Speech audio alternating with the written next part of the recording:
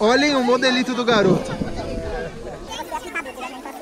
Jesus! Caraca, essa luz tá muito forte, mano.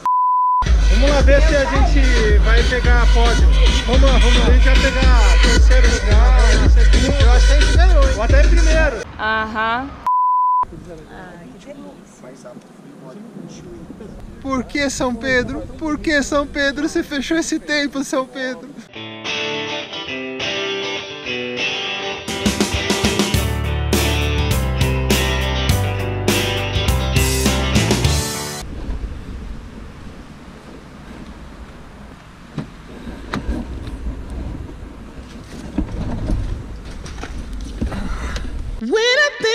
The way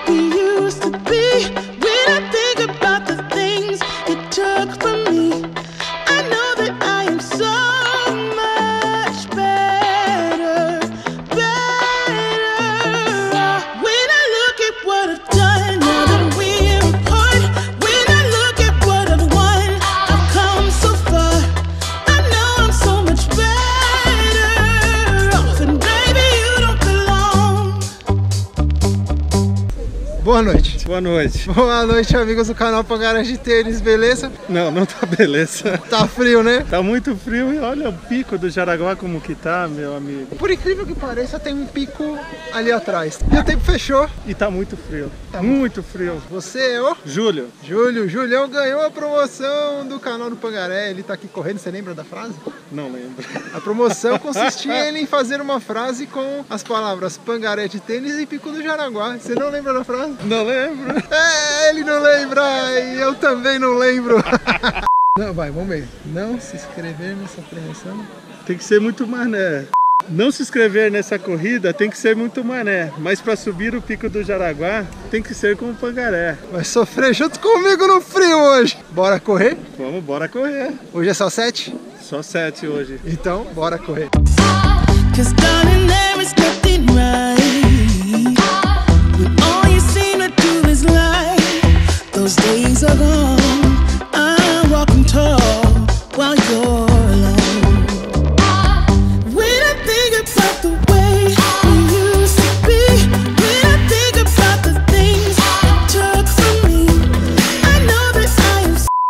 Pessoal, hoje eu vou contar, tentar contar uma historinha pra você do Pico de Jaraguá, contar um pouquinho aí de algumas curiosidades. Muitas das curiosidades que eu vou contar hoje pra vocês aqui eu peguei no site Jaraguá Post SP que eu vou deixar o link aí embaixo pra vocês. Lá tem muito mais detalhe, lá tem muito mais história, se vocês quiserem conhecer bastante a história do Pico de Jaraguá, dos bairros próximos aqui, tem muita informação legal lá.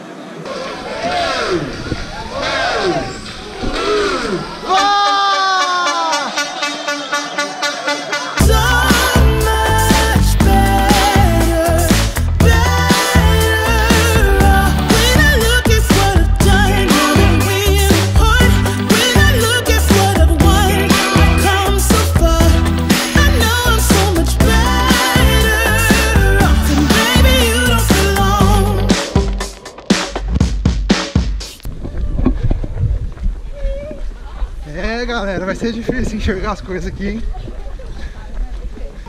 E começou Estrada do Pico do Jaraguá, Estrada Turística do Jaraguá. 1135 metros, o pico principal do Jaraguá, já contando com as antenas de TV. 1127 metros, o pico secundário mais conhecido como Pico do Papagaio.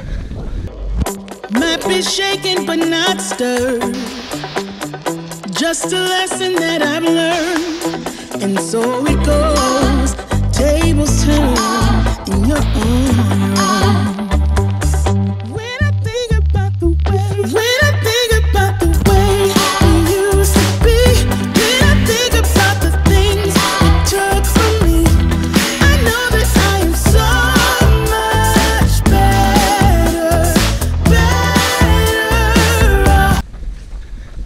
conhece as histórias do pico, Julião?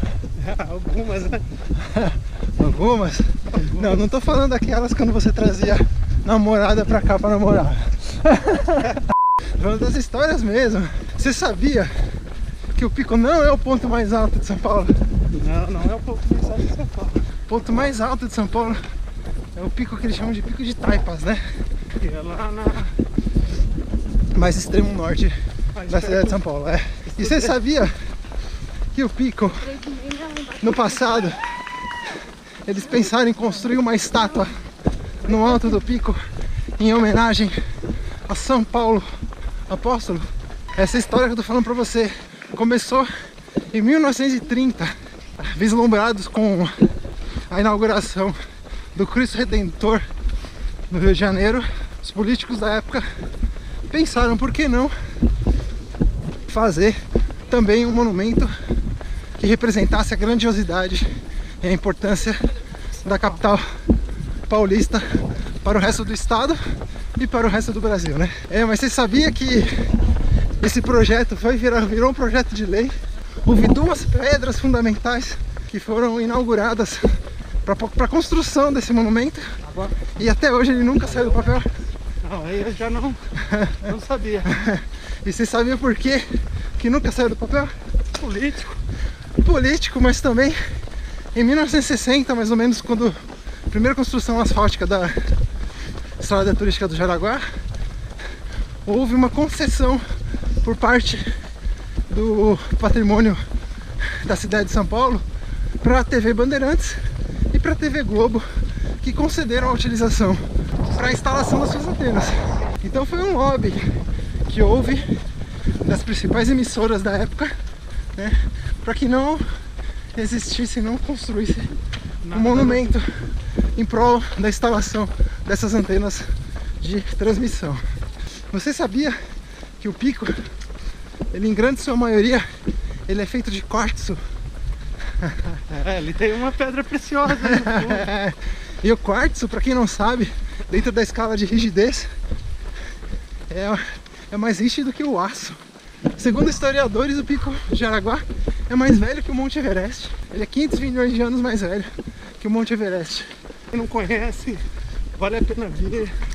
O visual é muito bonito. A estrada é muito legal. Força! Se você, e se você não sabe, o Pico Jaraguá está aberto de segunda a segunda, das 7 da manhã até as 5 da tarde. O parque, né?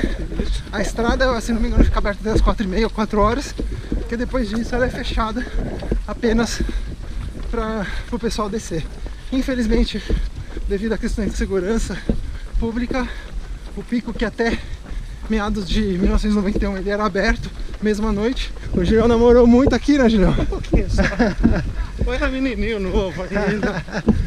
O pico ele ele era aberto. Infelizmente tiveram que fechar por uma questão de segurança.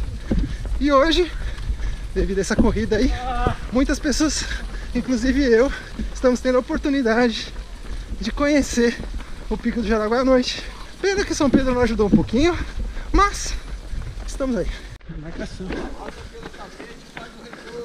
Passa pelo tapete, passa pelo tapete, Passaram por aqui. passa pelo tapete e faz o retorno.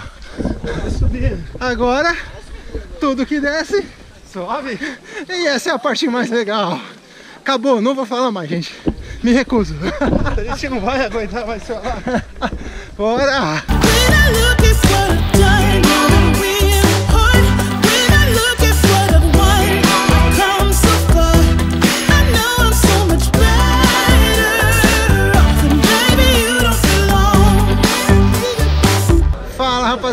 Acabamos de terminar a prova e eu estou aqui com a Natália, primeira prova dela. Olá.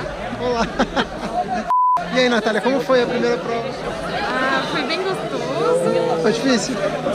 Foi difícil subir, foi bem Foi? difícil subir. Andei bastante, fiquei chateada por causa disso. Mas na sua primeira prova você já ficou chateada. Sim. Mas muito gostoso fazer uma prova, estar nesse lugar lindo. Só o tempo frio que tá meio. Sim, sim. Vi, ver a neblina, ver que tá frio e. Por que, que você escolheu essa prova, Natália? Porque eu queria que a primeira prova fosse diferente, não fosse numa marginal da vida, fosse num lugar exótico, mais bonito, à noite, com iluminação na cabeça, Com subida. com subida, com neblina, com frio. Bom, Natália, seja bem-vinda à corrida. Muito Nós do obrigada. canal Pagaré de Tênis sempre gostamos de ter pessoas novas, iniciantes, que iniciam na corrida e gostam de praticar a corrida. Esperamos ver você em outras corridas que não sejam tão diferentes assim também. Sim, sim. Vou continuar. E bora correr? Bora! Vamos junto! Aê!